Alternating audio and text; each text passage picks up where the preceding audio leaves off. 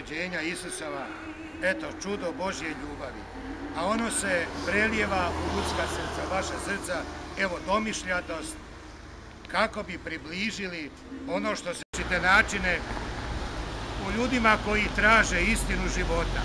Evo, ona je započela u Betlehemu pod vedrim gotovo nebom.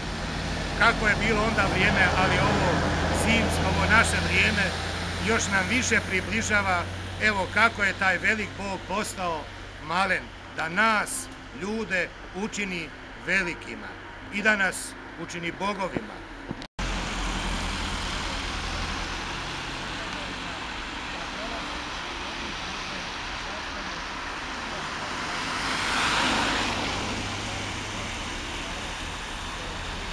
Anđelja po Luki, u one dane izađe naredba cara Augusta da se provede popis svega svijeta.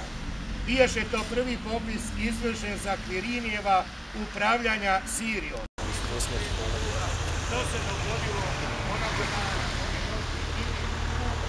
Davidovu rodio spasitelj Krist gospodin.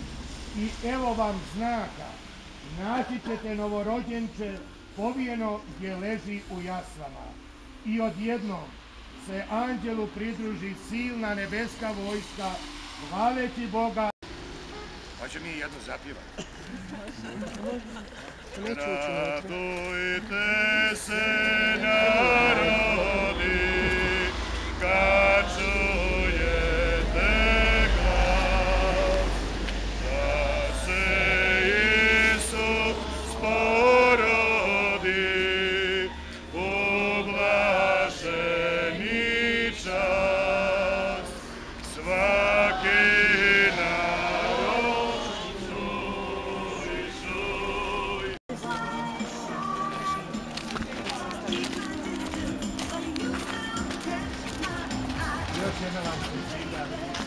Благословение.